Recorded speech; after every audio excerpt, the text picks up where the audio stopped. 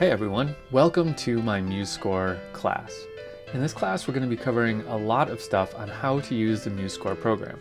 Now, if you're not familiar with MuseScore, MuseScore is a free program. It's totally open source. Uh, you can download it at musescore.org. We're going to talk about uh, how to set up this program to input your own musical scores. So we'll start with starting from scratch and building a score in MuseScore. This is using the word score a lot, but that's just kind of the nature of the game um, because that's what this program does. So we're going to set up a score, we're going to talk about inputting notes, and then we're going to talk about how to input text and lyrics and chord symbols and all that stuff. And we'll talk about doing tablature in MuseScore, which is really cool. Um, you can enter notes either as the numbers in tablature if you need to do that, or as the notes, and they'll both update. It's really slick.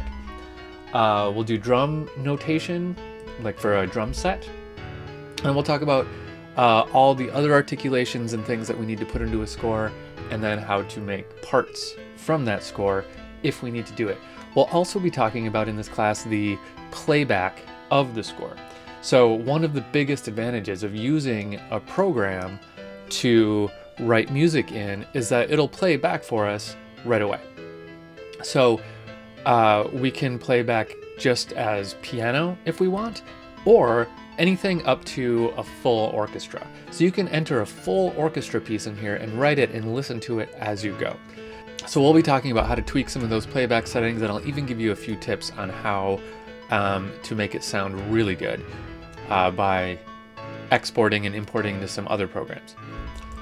So it's going to be a really fun class. I hope you decide to join us. Um, let's take a quick little preview of the course in the next couple seconds, and I will see you on the inside. So here's a preview. We have rests. So we can say eighth note rest, and that's going to have us enter an eighth note rest. Okay, so we'll talk more about that as it comes in. Uh, we have ties, and then accidentals. Double sharp, sharp, natural, flat, double Let me flat. tell you how I actually work.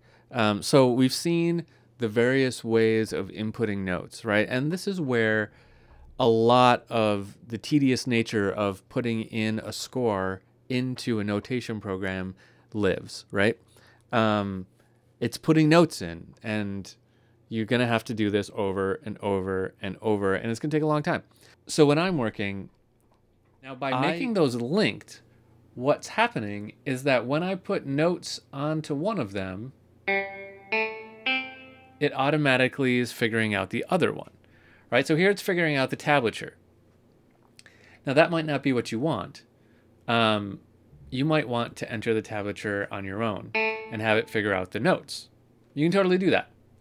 So to enter the notes, we just enter the notes like normal, and it figures out the tablature as long as we've set it up as a linked staff. To enter the tablature, we go into note entry mode right here, and I let it go and I get this mess, but I can drag it out to its destination.